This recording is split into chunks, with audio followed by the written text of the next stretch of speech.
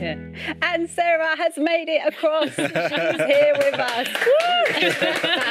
I should have kept my wellies on actually after that little. Uh, It's Friday. It's Fridays. Do what you want to do. But actually, talking about the sheep, you grew up on a farm. Did Yeah. you do the cattle auctions? Well, funnily enough, uh, on a couple of occasions, my dad wouldn't want one of his young bulls to go for meat. He'd want it to go for showing, for breeding. So to prove that it behaved well on a, on a head collar, he'd send me into the ring with the bull to walk it round, so you know it showed that it had a nice temperament. I mean- and so it'd be all like the hang and ham and ham and all that, and I was like, oh.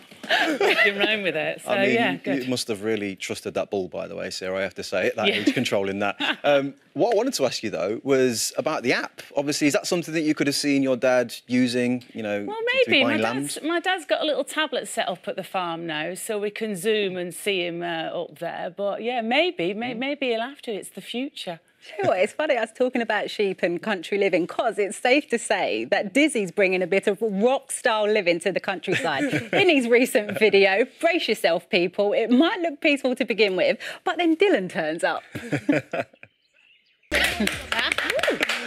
Oh, Dizzee, what an entrance that was. I bet the neighbours around the area brace yourself. It might get a bit uncomfortable in the studio because I'm about to ask Dizzee a question, right? Okay. Now, Is Dizzee, this about doing a collaboration? Because I've been waiting for Dizzee to get in touch. I'm, I'm ready to You go know in the studio. I can lay down some rhymes. oddly enough, oddly enough, it's quite close to that, right? Oh, don't. I mean, basically, right, so you and Alex went to school together. Hmm. You you were in the same class together. I keep. saying... Hey, oh, this is one for the moms, Come on.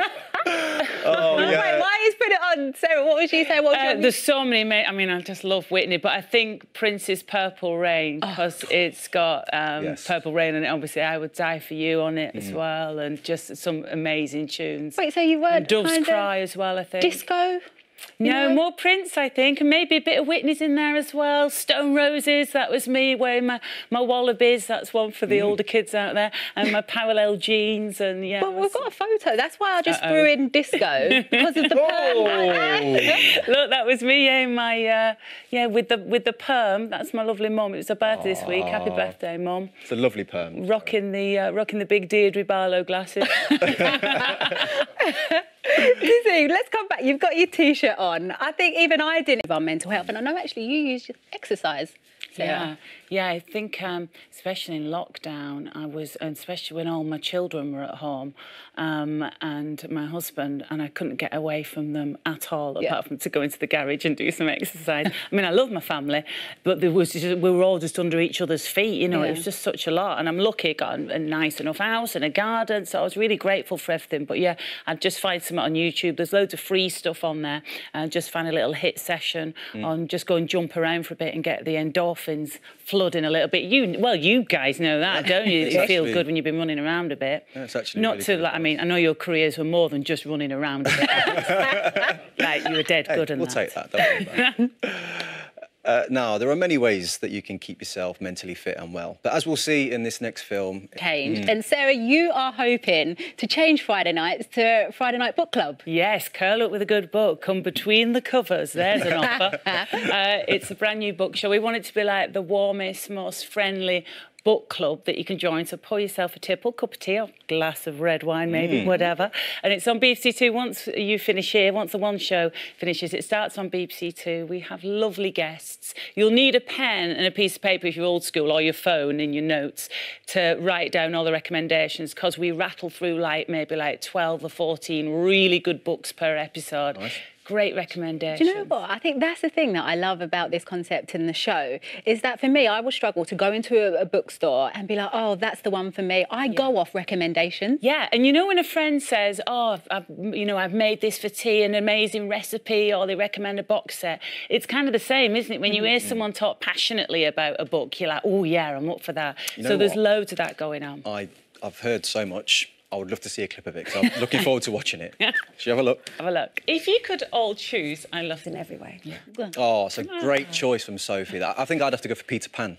Really? Well, you know, youthful looks, apparently. Oh, That's staying in there, staying in there. in green tights. I I knew that was going to come back. Who would you choose?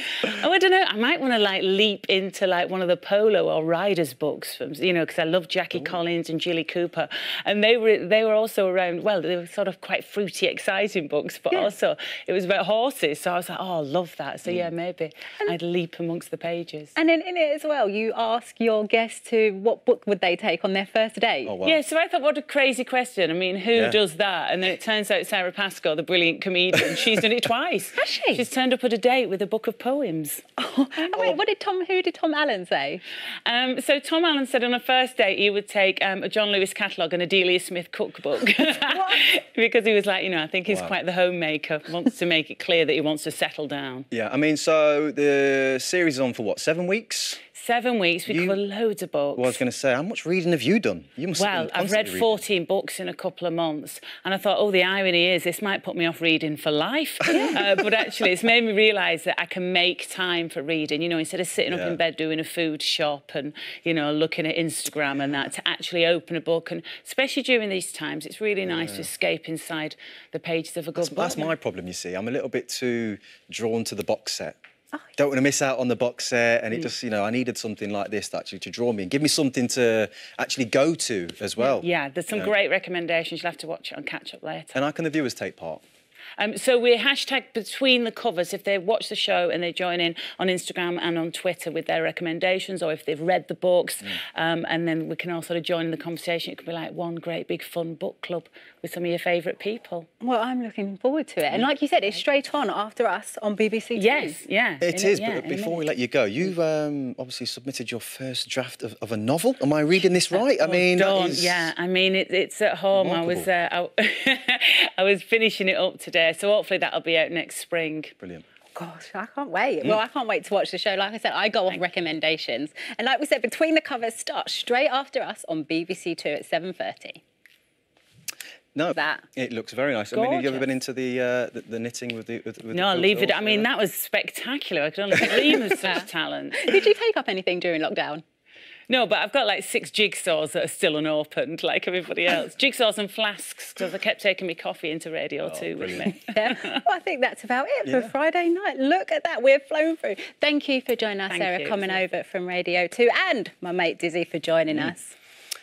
Yeah, and his new single, what's it called? Body Loose, is going to be out now. And Alex Jones is also going to be back on Monday with Michael Ball, and they'll be chatting to Elton John, Kevin Bacon, Philip Schofield, and a whole host of stars next week. See you later. Bye bye.